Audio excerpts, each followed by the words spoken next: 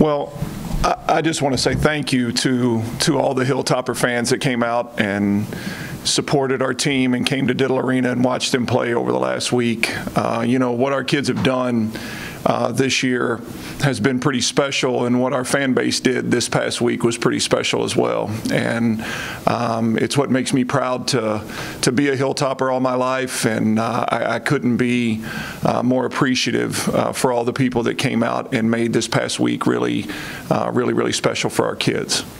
So, with that, questions.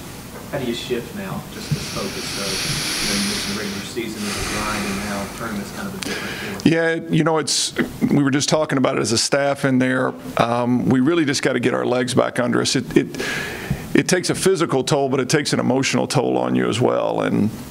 Um, now we have to, you know, kind of just keep them fresh. You know, as my granddad used to say, the hay's in the barn a little bit at this point, and you know, it's it's about um, just kind of keeping them fresh and uh, focusing in on little things that maybe aren't real physically taxing things in practice every day, uh, but just little things that might mean a point here or there, and um, and try to recalibrate and and go down and take on another really big challenge uh, down at Rice playing Middle Tennessee for the third time this season, mm-hmm. does that pose any sort of extra challenge to face a team for the third time? Yeah, no, um, you know, it's a little bit unique because we only played, you know, two teams in our league twice already, and so we're playing them for a third time, so we'll know each other very well.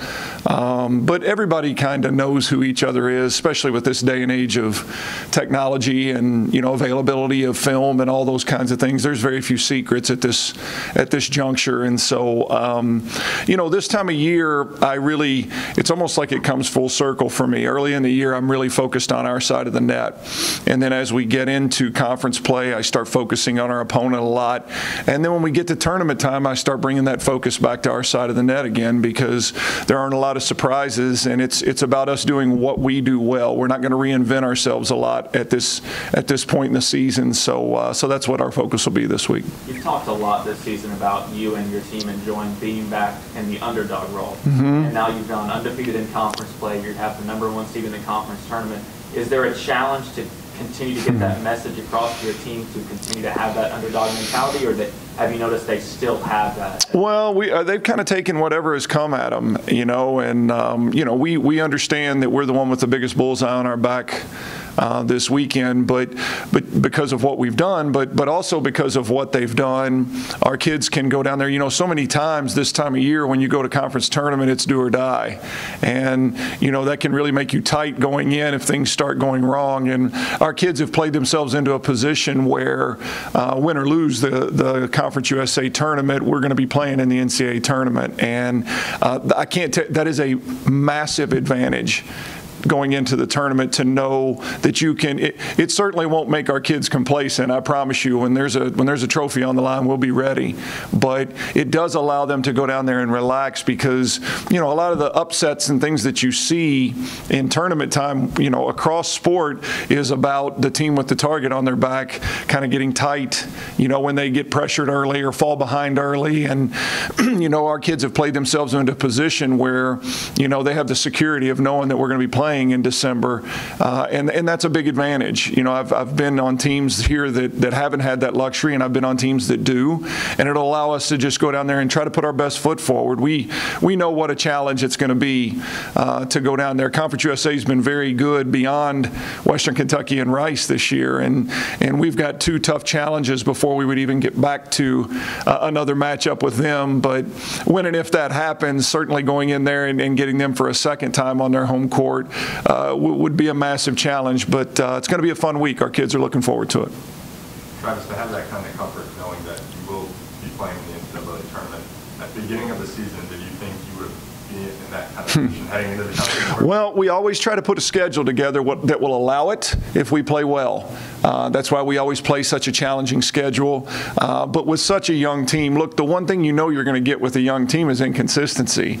And this team has kind of flown in the face of that a little bit. We've been uh, amazingly consistent throughout the year. And so, uh, no, I, you know, I didn't know that, I, I, knew that the schedule would allow it. I didn't know if our team would be ready to, to get themselves there. But, you know, I'm going to say again now that, that we've secured that regular season championship, I'm telling you, I, I take so much more pride in a regular regular season championship than I ever do a tournament because it just says so much about getting themselves ready to play for a two, two and a half month period. And um, I, I couldn't be more proud of that. And so, you know, we talk about having different seasons, and now that season's behind us, and, and we go into the conference tournament and, and have an opportunity to uh, try to win another championship. What does this particular regular season championship say about this team with all the question marks Mm-hmm. coming into the season that have pretty much all been answered?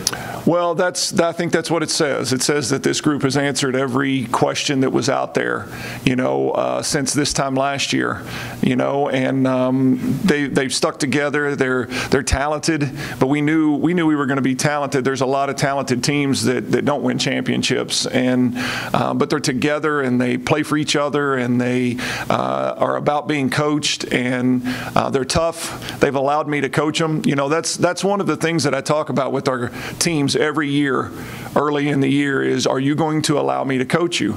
And that sounds simple, but it's not. It's not simple because allowing yourself to be coached has a lot to do with hearing things you don't want to hear and being pushed out of your comfort zone and um, doing things that don't always make sense to you. And you know, some some teams start thinking they have a different way or this isn't necessary or why is he on me? And some some teams, you know, are all in with trust and um, and this team has allowed me to coach them, which has allowed them to have a pretty special run so far. With this team, you had a lot of the upperclassmen returning, but you also had Logan Kale, Najee Mm-hmm. Udine, Pace Briggs. I mean, what does it say about the newcomers that they really bought into this culture, it seems? Well, I think it says a lot about about all of the above. I think it says a lot about our returning players because they took a bunch of newcomers and helped them understand what it means to be a part of this program and understand that it's not about individuals, it's about team success and understand that it's about being coached hard and, and wanting to be great and wanting to be coached hard and and then it's about those newcomers coming in and and buying into that culture in a short period of time and, and being on board. And, you know, there's an adjustment period with that. But, you know, the, the best the best way to learn those things is to see it reflected in your returning players. And, and I think all of our newcomers have been able to do that. You touched a bit in your opening statement about the turnout for the last two games, and the last time we were here, you challenged everybody to show up Mm-hmm. and, uh, across those last two games. Over 2,500 people in Mm-hmm. the arena. Just how much did that mean to you and your team? Still get chills thinking about it. Uh, you know, again, 25 years ago, there were 11 people in the stands, and five of them were my family.